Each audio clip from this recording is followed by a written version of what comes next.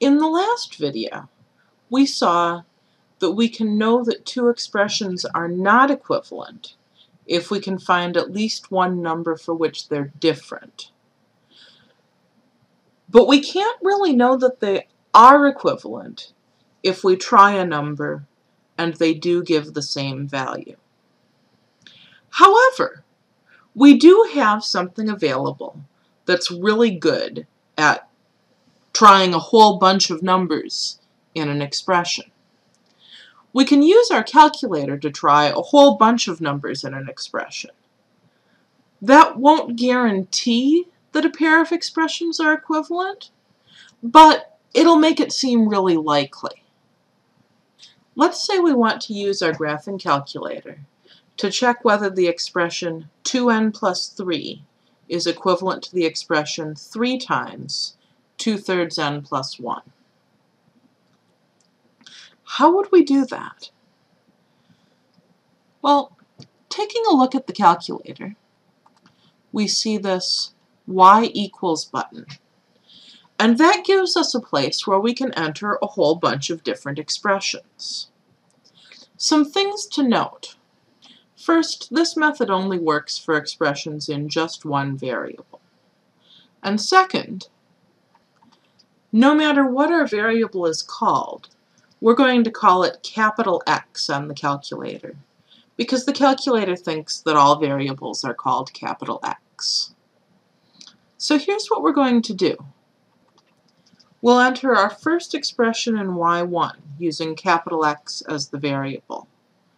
Remember, our first expression was 2n plus 3. We're going to enter 2 capital X plus 3. So 2. To get the capital X, we press this button right here, right underneath mode to the right of alpha. This is the enter my variable button. Plus 3. Now we'll enter the second expression in y2, again using x as the variable. And notice that I put my fraction 2 thirds in parentheses. So I'm copying the existing parentheses and I'm adding extra parentheses around my fraction. Okay. Now, how am I going to get the calculator to plug a whole bunch of numbers in there?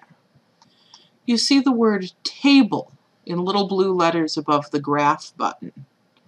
When we hit second and then the graph button, we get a table. What do we see in this table? So this column, labeled x, is what we're plugging in for the variable. And then the column labeled y1 is what we get by evaluating the first function. The column labeled y1 is what we get by evaluating the first expression, and the column labeled y2 is what we get by evaluating the second expression. Notice I can use the up and down arrows to scroll through different values of x. And I see that the y1 column and the y2 column are exactly the same wherever I look. And so since those two columns are exactly the same, since plugging in all those different values of x evaluates to the same number for each expression, they're probably equivalent. Notice we haven't tried every number. We've only tried certain small integers. But we'd have to get really unlucky for them to end up equal just by coincidence. The two expressions are probably equivalent. What does it look like if the expressions are not equivalent? Let's say we want to use the calculator to check whether 2x plus 3 times x plus 1 is equivalent to 2x plus 3. So I've already got 2x plus 3 entered in y1. I'm going to enter 2x plus 3 parentheses x plus 1 and then second graph to get the table again.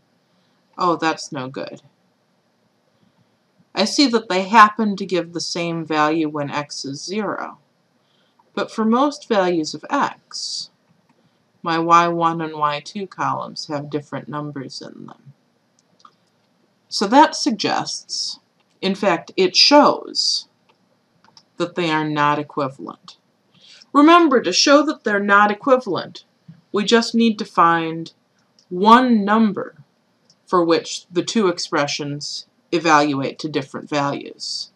So we could say, we see that when x is 1, 2x plus 3 evaluates to 5. Remember, we had 2x plus 3 entered in y1. But the other expression evaluates to 8.